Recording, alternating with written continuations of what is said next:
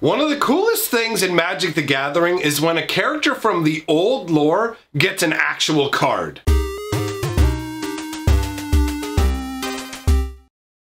Greetings, owners of fine luxury cardboard rectangles. We are here today for what I like to call a spoil lore video, where we take a look at a brand new card, we break it down, and then take a look at the actual whole history of the card, the story behind it. So what we're going to be doing today is talking about Mangara. Now I know some of you may be saying to yourself, wait, Mangara technically got a card in Time Spiral. That is like an alternate reality style set and we'll touch on that card at the end just to like cover our bases. But in all honesty, this Mangara that's on the screen right now, the Mangara the Diplomat, he's the one who actually matches the old magic lore. And I gotta be real, there's some cool lore about Mangara. When when you go back to old school sets like uh, Mirage, the characters from them, like this is actually the main character of the Mirage storyline. People don't realize, like, he's a big deal. There's a whole bunch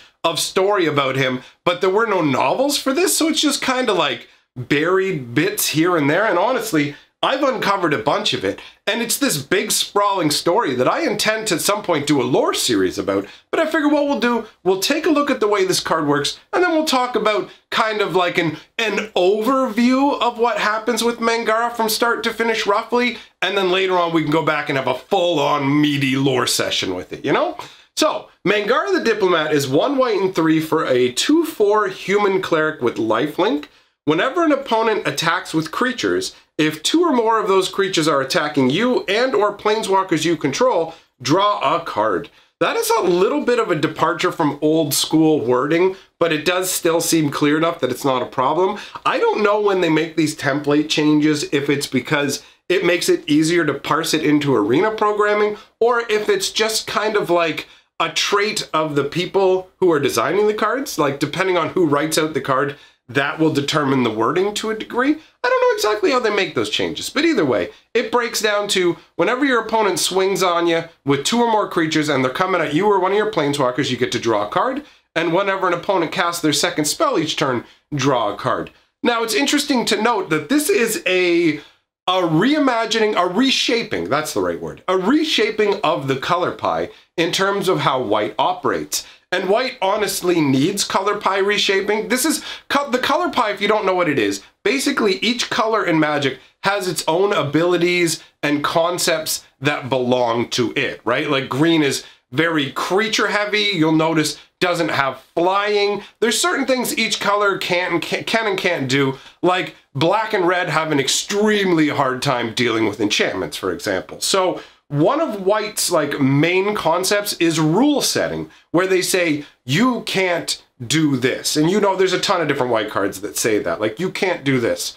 But they've expanded that concept a bit to change the rule setting into not you can't do this, but if you do this, then I get a card. So instead instead of stopping you outright, your punishment for doing for transgressing White's rules is that White gains resources from it. So we've got two different scenarios on this card that both add up to what could be some serious card advantage. I mean, basically it's saying as long as you only cast one spell a turn, and as long as you only attack with one creature at a time, then we're okay. But if you try and do more than that, then I get something out of the deal. That's that's the operation, and that does have a diplomatic feel to it. But let's dive in to the story about Mangara, and we can see just how much this card actually fits. Because I gotta say, it feels pretty decent.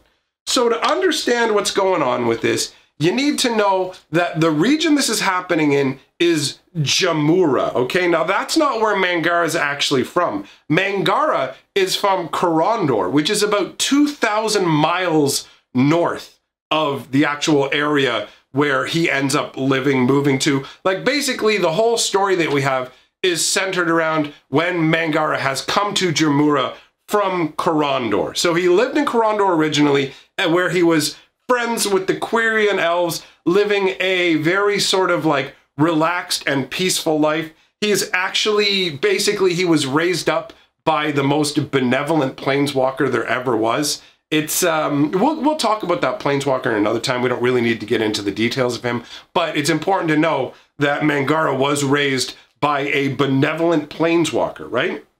So, how did Mangara end up coming to Jamuraa? That actually involves Teferi. The very short way of putting it is Teferi was involved in a number of experiments with time. Those experiments went wrong. Teferi felt guilty for what had happened. As a result, he attempted to undo the effects of his time magic, and the resultant energies from that actually removed Teferi's entire island. He was basically on one island in a chain of islands in the Jamuraa area, right? So his magic that he pulled together to try and fix what he had done instead blinked his entire island out of existence, like out of phase with time. So it still existed, but couldn't be interacted with. Now, magic this powerful sends ripples out across an entire plane. And there were some very powerful mages who picked up on that ripple. The three of them actually came together. The three most important, biggest names were Mangara, Kaervek, and Jolrael. So obviously we talked a little bit about Mangara. Kaervek was a black and red aligned, very, very evil, narcissistic, unpleasant individual who lorded over spirits and death. And Jolrael was originally, at least presumed to be, a resident of Jamuraa who had actually left her homeland to just spend her time bonding with animals. She doesn't actually connect properly with people or understand their motivations. But the three of these mages came together and understand their power level was such that they lived for hundreds and hundreds and hundreds of years. They had used magic that essentially slowed their aging to a crawl. So these are three mages with extreme power, very long lives, and a breadth of magical knowledge. They agreed that the three of them, they basically met together on the spot where Teferi's island had been. It's gone now, just barren rock. The whole thing disappeared. So they stood there and agreed that they would all end up working together to kind of try and parse out what the mystery was. So Mangara decided he was going to settle, obviously, directly in Jamuraa, but there was a problem. There are three different warring nations in this area. There's the Zhalfirins, who were essentially a military organization. There was the Femeref, who started out as a part of Zhalfir, but eventually splintered off as their own religious province. And then there's the Suq'Ata, who are basically traders. So you had one group of military individuals, one group of religious individuals, and a group of merchants, essentially, as these three different societies that were at war. So basically, like they're it's not like they were at full all out conflict with each other, but Mangara refused to exist in an area that didn't have calm and peace. So he basically went about dealing with the rival nations. Now Mangara was already well versed in both diplomacy and intimidation before he even left Corondor. So he didn't have a lot of difficulty kind of just knocking people into place, you know, either through obviously saying, hey, you know what, I'll hook you up with this, or don't do this, or there, or X will happen, right? And that does have a very white mana kind of feel to it. So essentially, Mangara was able to cause the formation of peace agreements amongst these nations. However, there were still hostilities between the militarized Zhalfirins and the religious Femeref. So Mangara basically got a bunch of the Quirion elves from, from the area that he lived in previously to migrate into a safety kind of buffer barrier. But like they cut off a piece of land along the disputed borders between the Zhalfirins and the Femerefs. And they went ahead and said, okay, this land is specifically Quirion land now. And they filled it with a whole bunch of elves. And the elves are clearly quite pleased to be here. They have no problems with it. It's a situation that works out quite well for everyone. In fact, the um, this basically it led it led to Mangara ruling over the area for over a hundred years with no real problems. And by ruling over, it was really just a matter of keeping the peace. He wasn't like an actual leader. He didn't declare himself a king or anything like that. And the time that he brought about, the hundred years or so of peace, while he was actually there negotiating these treaties and such, it was known as a Mangara's Harmony. So he had a big impact on the area. Now, the problem is, as I mentioned before, Kaervek is an awful person.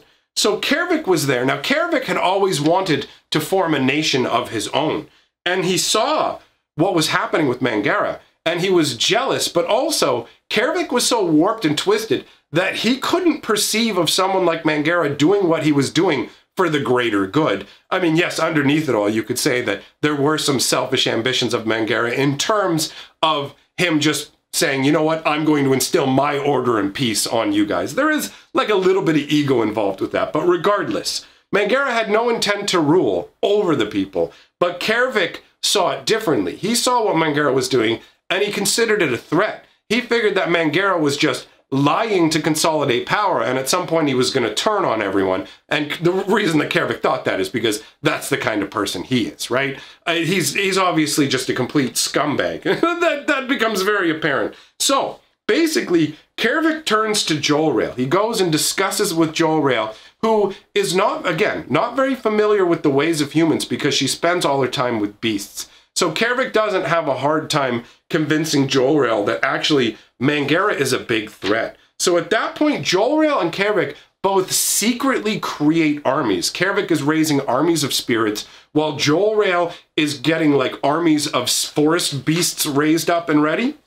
So the next step in the plan that Kaervek had was for him to sow discord amongst the different nations, right? And in this in this scenario, the it's just kind of like little things here, little things there, until all of a sudden it escalates to the point where there's actual like there's actual violence going on, right? And then at that point, it basically comes to the brink of all-out conflict. Mangara at this point, exactly according to Kaervek's plan, he's at his wit's end. He doesn't know what to do. All the tactics that he's used up to this point that have been successful are no longer working. Dis diplomacy and intimidation are both failing him. And at this point, that's when Kaervek sends Mangara a message saying, I understand what's going on with you. Let me offer some aid. And at that point, Mangara says, okay, I'm going to go out. I will meet with you and Jolrael. They will actually, Mangara only agrees to meet with Kaervek, but he's ambushed by both Jolrael and Kaervek. And they force him, they force him into the Amber prison. The Amber prison is the, I mean, there's literally, there's literally an artifact card. You can see it, like uh, it's up on the screen now. Kaervek is actually stuck inside of the amber there. So he's all shrunk down and trapped in this giant amber rock. Well, not giant, it's hand-sized, right? But either way, I mean, it still would be a pretty big gem with a powerful wizard trapped inside of it. How, ins how insane is that? That jewel was then put on display in Jolrael's palace, where it remained for about a hundred years. Mangara was imprisoned for about a hundred years, and he hadn't even done anything wrong. You know what I mean? Like Mangara at this point had committed no crimes. This was completely against him. So he's trapped in this amber prison for a hundred years until Teferi actually returns, right? At this point, nobody knows Mangara, nobody knows what happened to Mangara. He's basically imprisoned in Jolrael's palace. All of his people just thought that Mangara abandoned them because of all the civil unrest, right?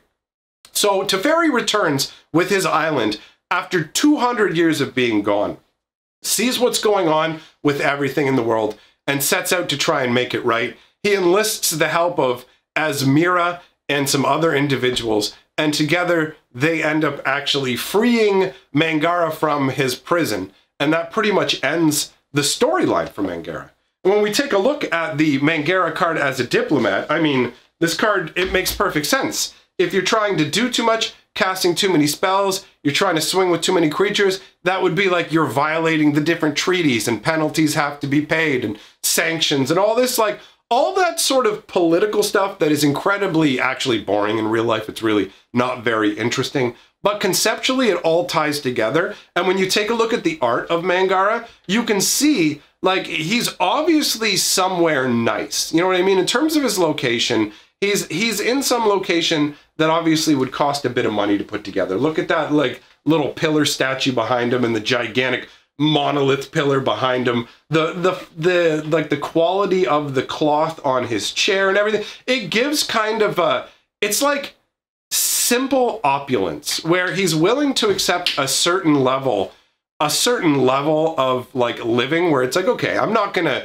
be in dirty rags and whatever and part of that's gonna be for appearances right you're to want to actually, if you're meeting with other dignitaries, you can't show up all shabby. So he has to look nice. But at the same time, you can see that what he has here, he's not adorned with like there's no jewelry. He doesn't have like big flowing gold chains. There isn't ornate braiding in like embroidery in his clothing.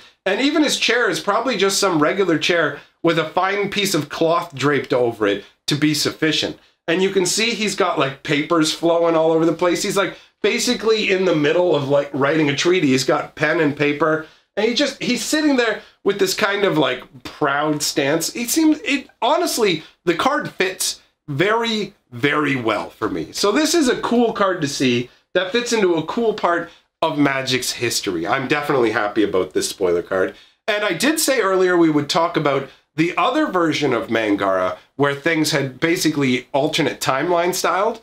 And so this is Marang uh, Maranga, Mangara, which I'm sure I've said a couple different ways in the video. Pronounce it however you want. Mangara of Corondor. Two white and one for a 1-1 legendary human wizard. Tap him, exile Mangara of Corondor, and target permanent. And it says, I've been brought to this place and I cannot leave. I may be free of the amber, but I'm still in prison. So basically, Mangara has been pulled out of, this is before he would have been rescued by Asmira and Teferi. And you've got a situation where he has been pulled out of the Amber prison, but he's been brought to some desolate wasteland. I mean, look, there's no buildings, there's nothing in sight. This feels like the moment that Mangara has appeared. You know what I mean? Like, he goes from thinking that he's going to meet with Kaervek to find a solution to fix the unrest that's going on in his part of the world.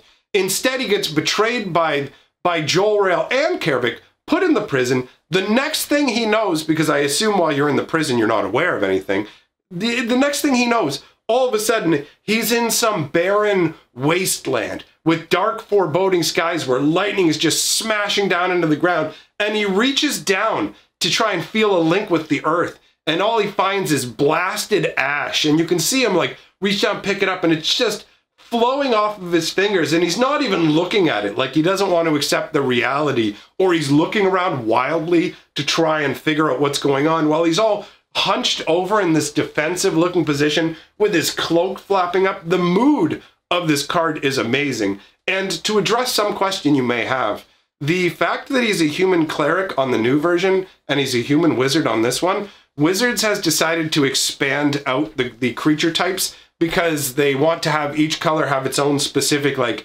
caster type. So cleric is the caster type for white, wizard is the caster type for blue. So in most cases, we're going to see a shift of creature type professions in that manner. Now, I'm curious. Let me know what you think about all this. Are you interested in more in more Mangara lore? Because I'm gonna do more. I'm gonna be doing a ton more lore. I've, I've got a whole big sweeping lore series that I'm working on. I've actually been putting out weekly lore videos and I have a full-on lore playlist. So if you want to hear more magic stories, check that out. Make sure to subscribe and click the like, do all that goodness. And if you want to support the channel, this channel is community funded. So go ahead and jump on my Patreon. It's the best way to support the channel. Thanks for coming by, everybody. I'll see y'all real soon.